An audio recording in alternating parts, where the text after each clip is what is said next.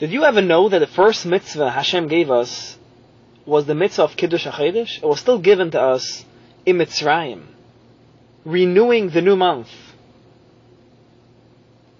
And why is that so important to us? Why did Hashem give us this mitzvah first? And what was his rush to give us this mitzvah still in Mitzrayim? The answer is very simple. Rosh Chodesh is up to us when we decide Rosh Chodesh should be. Hashem wanted to show us that He gives us the power to bring down Kedusha on the world. It's up to us when Rosh Chodesh should be. That means it's up to us when the holidays, when Yom Tovim come out. It's a special power Hashem gave us to bring down Kedusha in the world. And Hashem wanted to show us who we are. We are a strong nation who could bring down special Kedusha in the world. And we shouldn't just let it go. We should know who we are and what we stand for. Today is Rosh Chodesh.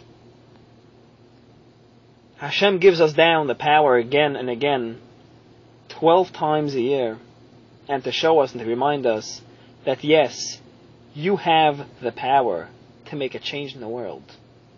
You have the power to bring down more holiness in the world. Your actions are not just actions. What you do makes a big difference in this world and especially in the world to come.